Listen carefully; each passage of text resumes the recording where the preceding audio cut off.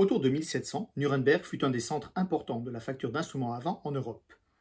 Christophe Denner, puis son fils Jacob, jouèrent un rôle majeur à ce moment clé où les hautbois, flûtes et bassons retravaillés et transformés par les facteurs français faisaient leur chemin en Allemagne et remplacèrent progressivement ceux encore en usage, toujours proches des instruments de type Renaissance.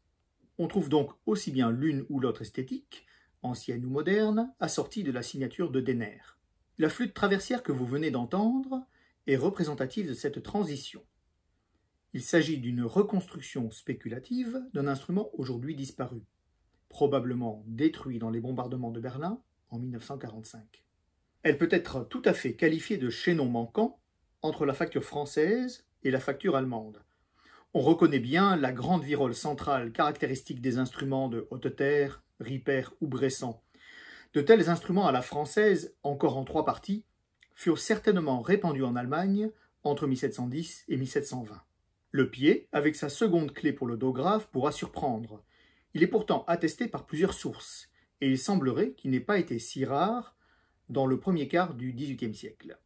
Nous connaissons une autre flûte, Denner, en trois parties, avec pied de do grave, actuellement conservée à Nuremberg. Des tablatures montrant clairement le doigté pour le do grave. Des mentions d'instruments, de buffardins par exemple, avec deux clés, et ainsi de suite.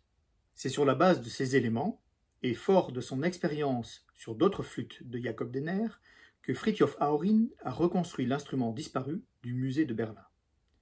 J'ai pris plaisir à utiliser ce do grave au cours des variations ou doubles dont j'agrémente les reprises de la sarabande.